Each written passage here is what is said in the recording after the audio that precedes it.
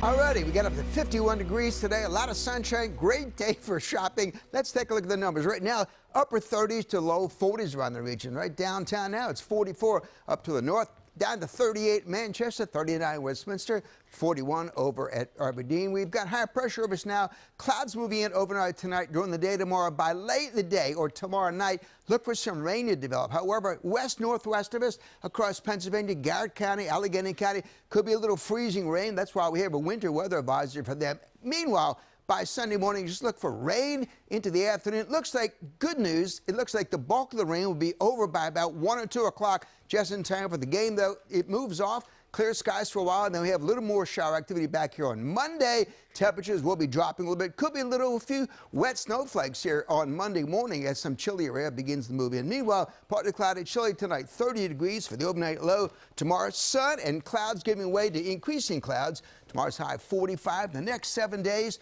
Yes, we've got rain on top for Sunday. Most of it should be over with some showers in the afternoon. 48, colder on Monday, chilly next week, but temperatures really close to normal, but a lot of sunshine Tuesday.